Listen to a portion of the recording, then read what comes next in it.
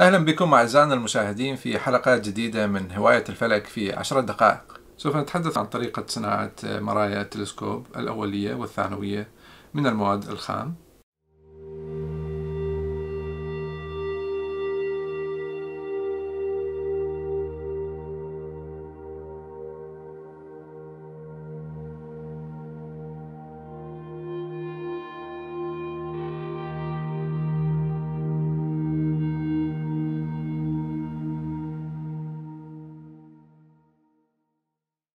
إن صناعة المرايا تتطلب إلى معرفة وخبرة في البصريات وصناعة المرايا. ممكن اكتساب هذه الخبرة والمعرفة باقتناء الكتب المتخصصة. تجدون المعلومات عن هذه الروابط للكتب الفلكية. موقع ويليام بيل يقوم بتزويد الكثير من الكتب المتخصصة. ممكن أيضا متابعة فيديوهات على اليوتيوب لتعلم كيفية صناعة مرايا التلسكوب العاكس حيث يقوم جون دابسون بنفسه بشرح هذه العملية بصورة مفصلة وسوف أقوم بإضافة روابط هذه الفيديوهات في شرح الفيديو. ممكن أيضا زيارة المواقع الإلكترونية التي تشرح بالتفصيل عملية صناعة مرايا التلسكوب والتلسكوب العاكس. ممكن زيارة موقع ستيلا فين للتعرف على الكثير من التفاصيل المتعلقة بصناعة التلسكوب آه، من المواد الأولية ومن ضمنها صناعة آه، المرآة المقعرة العاكسة. مايك ديفيس موقعه باب والذي سأقوم بإضافة رابطه أدناه. يقوم مايك بصناعة مرآة التلسكوب العاكس من ألواح الزجاجية العادية وذلك بتجميع عدة ألواح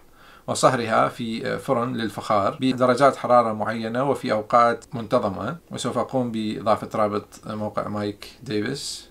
باب أدناه إن أهم جزء في آه، التلسكوب العاكس هو المرآة المقعرة المكبرة. يجب علينا تحديد عدة عناصر للقيام بصناعة هذه المرآة. الموضوع الأول المادة الخام المستعملة في صناعة المرآة. هنالك ثلاث مواد رئيسية ممكن استخدامها. المادة الأولى هو صفائح الزجاج العادية الخفيفة والتي يمكن قطعها على شكل دوائر ومن ثم صهر عدة صفائح من الزجاج للحصول على صفيحة سميكة ممكن استخدامها وصقلها لاحقا لتكوين المرآة النهائية.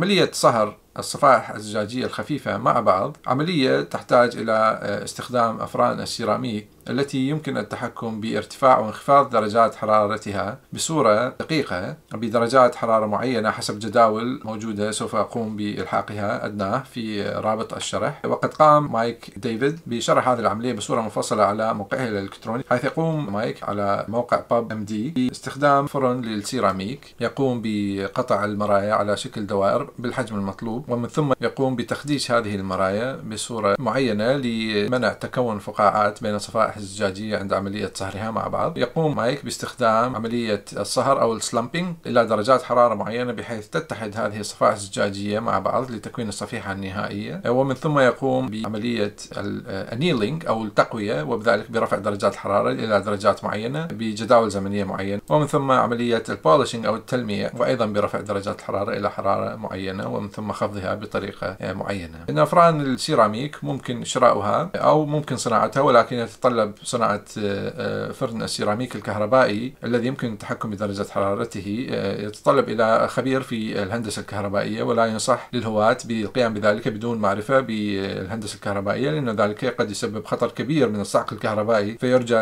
التزام الحيطة والحذر. ممكن متابعة الكثير من الفيديوهات أو المواقع الإلكترونية لطريقة صناعة فرن السيراميك الكهربائي. أو يسمى بال kiln K I L N. النوع الثاني من الزجاج الذي يمكن استخدامه هو زجاج البايركس. حيث يتمتع هذا الزجاج بخاصية ثبات عند درجات الحرارة وذلك يوفر فائدة في ثبات البعد البؤري وعدم تقلص وتمدد المرآة كثيرا مع انخفاض درجات الحرارة ليلا. أما النوع الأحسن الذي يمكن استخدامه هو زجاج الكوارتز ولكن زجاج الكوارتز باهظ الثمن ولذلك يفضل للهواة المبتدئين استخدام الصفائح الزجاجية الأرخص. طريقة قطع الصفائح الزجاجية ممكن للهاوي أن يذهب إلى أي محل لتزويج الزجاج وطلب من صاحب المحل المحل قطع الصفيحة الزجاجية المطلوبة بالحجم المطلوب بصورة دائرية أو إذا لا يمكن قطعها بصورة دائرية ممكن قطعها بصورة مضلعة أقرب ما يمكن إلى الصورة الدائرية ومن ثم باستخدام الماء برد حافات المرآة إما يدويا أو لكن الأفضل طبعا أن يكون ذلك باستخدام الدريل باستخدام مبرد ماسي حيث توجد طريقة أيضا على الموقع الإلكتروني الذي سوف أقوم بإلحاقه أدناه التحذير مهم يجب استخدام دائما الماء لأنه بدون الماء إذا تم برد أو صقل الزجاج فإن ذرات أو غبار الزجاج ممكن أن يدخل إلى الرئتين ويسبب أمراض شديدة للرئتين وما يسمى بالسيليكوسيس وهو مرض خطير. فلذلك يجب اتخاذ الخطة والحذر عند صقل الزجاج. يجب دائما استخدام الماء وارتداء الكمامات ويجب أن يتم ذلك في منطقة جيدة التهوية خارج المنزل. ممكن قطع هذه الصفائح الزجاجية بالحجم المطلوب أو ممكن طلبها من الشركات المخصصة مقطوعة أصلا بشكل دائري بالحجم المطلوب. الجزء الثاني المهم هو آه، ما مدى السمك المطلوب للصفيحة الزجاجية المستخدمة في صناعة المرآة الأولية؟ هنالك نوعين رئيسيين من السمك المستخدم لصناعة المرآة الأولية. النوع الأول هو الفول ثيكنس أو السمك الكامل حيث عادة يكون نسبة هذا السمك هو واحد إلى ستة من قطر المرآة.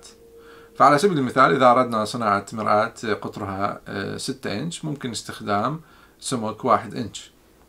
أما النوع الثاني من المرايا وهو ما يسمى ب partial thickness mirror أو light mirror أو المرآة الخفيفة أو ذات السمك الجزئي. تستخدم هذه الطريقة في صناعة المرايا الكبيرة للتقليل من وزن المرآة. وبالمرايا الكبيرة نعني المرايا التي يفوق حجمها 12 إنش حيث تقوم المرايا ذات السمك الجزئي بالتخفيف من وزن آه، المرآة الأولية. تقليل من كلفة الزجاج المستخدم في صناعة المرآة الأولية. ولكن عندما نقوم بتخفيف سمك المرآة نحتاج إلى دعم المرآة آه، من الخلف بعدة نقاط لتقوم هذه النقاط بحمل وزن المرآة ومنع انحناء المرآة بسبب وزنها.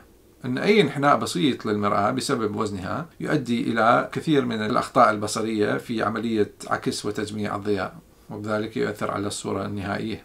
ينصح المبتدئين بصناعة المرايا باللجوء إلى صناعة المرايا صغيرة أولا بحجم 6 إلى 8 إنش. ذلك لسهولة التحكم بحجم المرآة ووزنها. لا يوجد داعي لصناعة خلايا المرآة المتخصصة التي تقوم بدعم المرآة بنقاط ثقل محددة بعد عملية الحصول على البلانك أو آه، مسودة المرآة المتكونة من سطح زجاجي دائري. في هذه الحالة إذا قمنا اختيار آه، حجم المرآة 6 إلى 8 إنش ممكن الاستعانة مرآة بسمك آه، واحد إنش. الخطوة الثانية هو تحديد البعد البؤري الذي نريده لهذه المرآة نستطيع التحكم بمقدار البعد البؤري الذي سوف نقوم بصناعته للمرآة وذلك بالتحكم بعمق المرآة الذي سوف نقوم بحفره. ينصح للمبتدئين بصناعة المرايا بصناعة مرآة ذات آه، النسبة البؤرية 6 إلى 8 سوف نختار آه، في هذه الحالة 6 F6 تعريف النسبة البؤرية هي البعد البؤري مقسوما على قطر المرآة.